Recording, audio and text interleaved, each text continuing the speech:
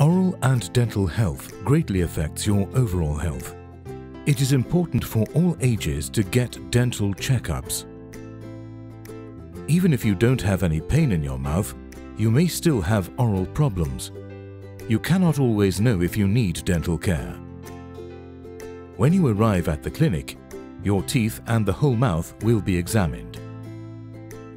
In addition, during the checkup, you will receive a care plan that considers, for example, your life situation, cultural background, age, and any possible general illnesses. When you get a regular checkup, cavities or other oral diseases are found in time and are easier and cheaper to take care of. You will also get information about how you can take good care of your mouth and at the same time prevent any problems. You can make an appointment at the City of Helsinki's Dental Care common phone number between 8am and 3pm. You can also book the time directly from the dental clinic. More information on dental care can be found in the City of Helsinki's website.